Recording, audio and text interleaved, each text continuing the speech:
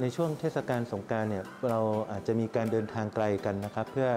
ไปเยี่ยมญาติผู้ใหญ่ไปเยี่ยมครอบครัวนะครับ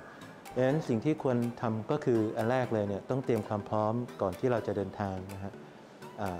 เราต้องตั้งสติดีๆนะครับ ก่อนที่จะสตาร์ทรถของเรา อย่าประมาทนะครับ อย่าขับรถเร็ว อย่าอย่าดื่มเครื่องดื่มแอลกอฮอล์ก่อนขับรถนะครับแล้วก็ถ้าเผื่อว่ามีโทรศัพท์ ก็พยายามอย่าอย่าโทรไปด้วยขับไปด้วยนะครับถ้าถ้าง่วง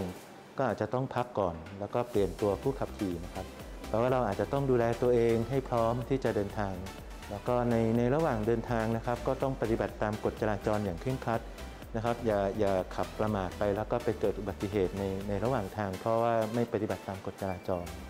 ในระหว่างเดินทางในช่วงนี้เนี่ยยังคงต้องอยึดถือแนวทาง การดูแลตัวเองในสถานการณ์โควิดอยู่นะครับ แม้ว่าจะจะเริ่มคลี่คลายลงบ้าง แต่ว่าก็ควรจะยังคงใช้แนวทางเดิม มีการสวมหน้ากากตลอดเวลานะครับ แล้วก็มีการล้างมือบ่อยๆ ก็ทิ้งระยะห่างพอสมควร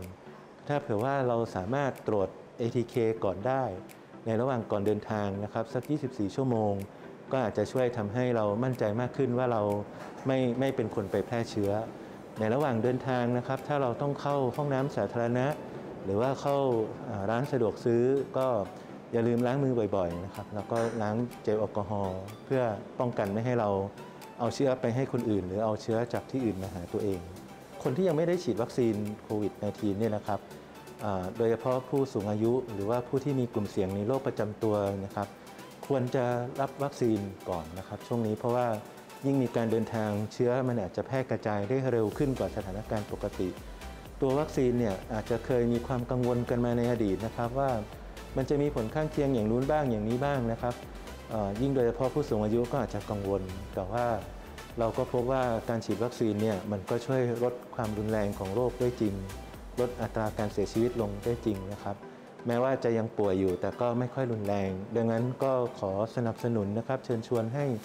ผู้สูงอายุนะครับ แล้วก็หรือว่าผู้ที่มีกลุ่มเสี่ยงของโรคประจำตัว ตามที่กระทรวงสาธารณสุขแนะนำเนี่ยก็ควรไปรับวัคซีนใกล้บ้าน ในสถานที่ที่เดี๋ยวนี้ก็จะมีวัคซีนให้เลือกหลายหลายอย่างหลายหลายรูปแบบนะครับ ก็ควรไปรับอันที่เหมาะสมกับตัวเราครับ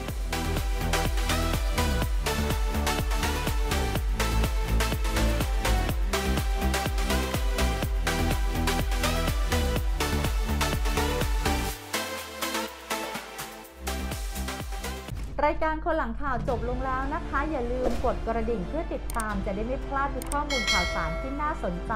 นอกเหนือจากนี้เรายังมีอีกหลายแพลตฟอร์มช่องทางออนไลน์ให้คุณผู้ชมได้ติดตามค่ะ ไม่ว่าจะเป็น Facebook แอปพลิเคชัน TikTok Instagram และ Twitter เพียงแค่ค้นหาคำว่าคนหลังข่าวเท่านั้น คุณผู้ชมจะไม่พลาดทุกข้อมูลข่าวสารที่น่าสนใจ และทันสมัยอย่างแน่นอน ขอบคุณสำหรับการติดตามรับชมรายการค่ะ